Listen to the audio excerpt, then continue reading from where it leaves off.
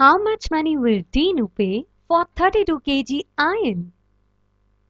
Now rate of 1 kg iron is rupees 14. So the cost of 32 kg of iron would be correct. Rupees 14 into 32.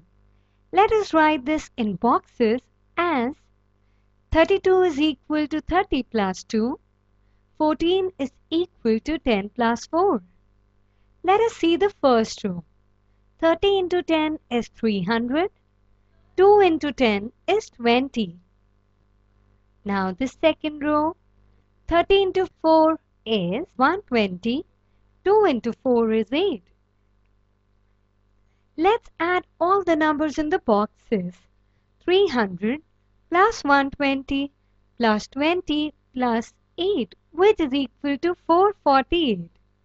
So, for 32 kg iron, Dinu will pay rupees 448. Kiran buys 1 kg of iron for rupees 12, but she sells it for rupees 14.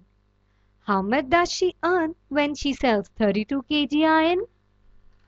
After selling 1 kg of iron, Kiran earned rupees 14 minus rupees 12 that is rupees 2. So, earning for selling 32 kg of iron would be rupees 2 into 32. Hey, you can solve this in boxes also. Well, that is equal to rupees 64. So, on selling 32 kg of iron, Kiran earns rupees 64.